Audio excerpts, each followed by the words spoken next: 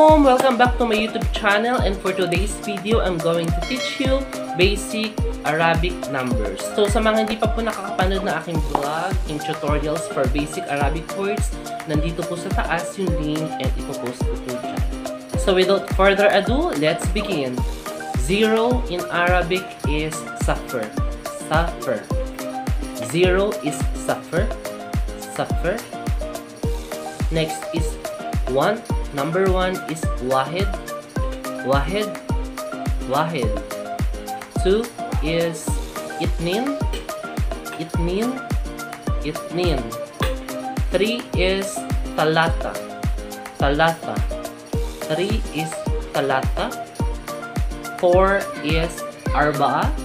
Arba'a. Four is arba'a. Five is kamsa. Kamsa. Kamsa. Six is sita. Sita. And then seven is saba. Saba. Saba. And then eight. Eight is tamanya. Tamanya. Eight is tamanya. Nine is tisa. Tisa. Tisa. Nine is tisa. And then ten is ashra. Ashra. Ashra. 10 is Ashra. Next number is 11. 11 is Idash. Idash. 12 is Itnash. Itnash. 13 is Talatash. Talatash. And then 14. 14 is Arbatash. Arbatash. 15 is Kamstash. Kamstash. Ah, ito po is Arabic Islam sa Saudi Arabia. Continue. 16 is Sitash. Sitash. So, 17 is Sabatash. Sabatash. And then, 18. 18 is Tamantash. 18 is Tamantash. 19 is Tisa. Tisatash. Tisatash. 20 or 20 is Ishrin. Ishrin. 30. 30 is Talatin. 40 is Arbain. 50 is Kamsin. Kamsin. Kamsin, 50. And then 60 is Sitin. Sitin. 70 is Sabain. Sabain. 80 is Tamanin. Tamanin. 90 is Tisin. Tisin.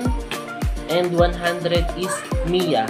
So, madali lang siyang tandaan kasi kapag na-memorize niyo yung 10 numbers which is Wahid, Itnin, Talata, Arbaa, Kamsa, Sita, Saba, Tamanya, Tisaa, at ah, yan, yung 9 numbers na yun. Pag natandaan nyo, madali nang tandaan yung 20, 30, 40. So, 100 is Mia. So, ano ang 200? So, 200 is Miten. Miten.